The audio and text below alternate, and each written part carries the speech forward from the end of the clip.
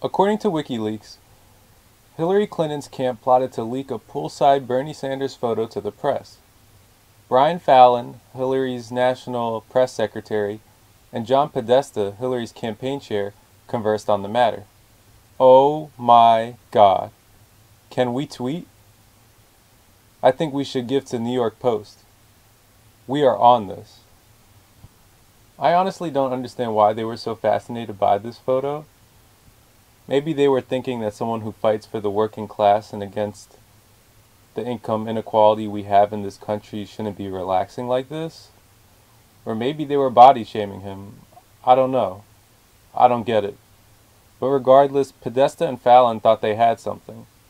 You know, during the campaign, Hillary would quote Michelle Obama and say that when they go low, we go high. Apparently, two of her highest ranking officials didn't get the memo.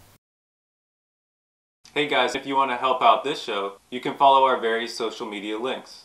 Also, we have a Facebook group that you can join as well. And if you want to follow me on social media, you could do that as well. Alright guys,